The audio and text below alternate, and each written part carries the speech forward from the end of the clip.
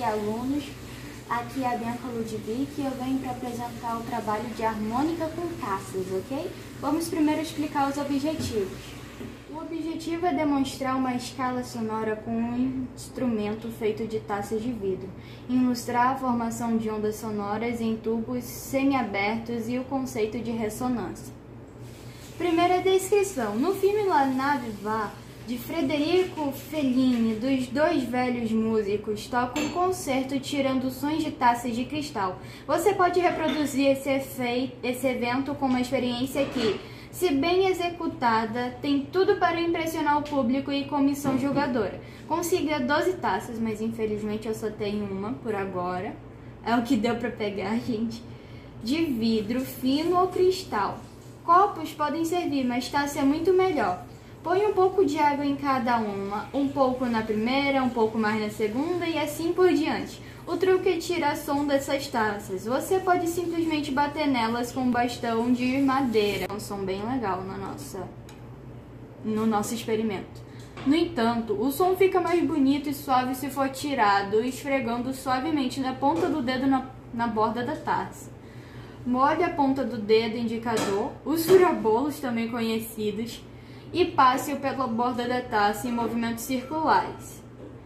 Com um pouco de treino, você conseguirá tirar um som cheio e harmonioso. Cada taça emitirá uma tonalidade diferente, pois o tom depende da distância entre a superfície da água e a borda da taça.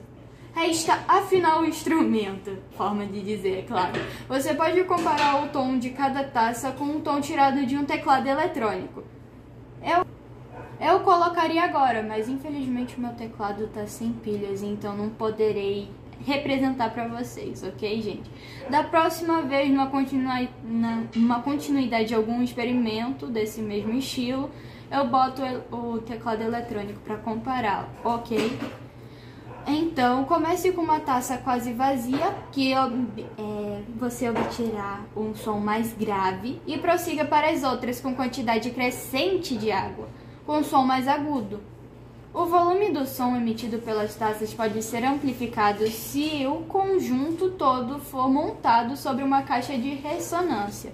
A figura acima é explicativa, mas o número de taças pode ser maior. Vou botar a figura aí do lado da imagem para vocês, ok? A análise. Agora vamos falar sobre o experimento em si, o que a gente entendeu.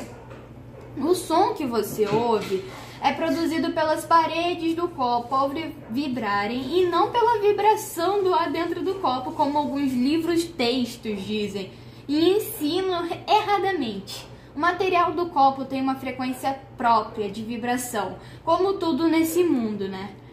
Ao esfregar o seu dedo na borda, você excita esse modo de vibração ressonante. Depende da quantidade de água que o copo contém. A água adicionada também participa da vibração. Quanto mais massa vibrando, quando a oscilação é provocada, e mais massa vibrando implica em menor frequência. Para demonstração, você bota o seu dedo indicador, molha um pouquinho ele aqui, e você faz movimentos circulares. Precisa de um tempo para você pegar a manha. Às vezes você precisa até mudar o dedo se você preferir.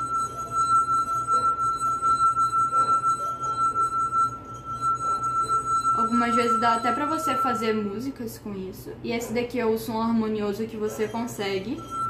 Como vocês podem perceber, é um som mais agudo.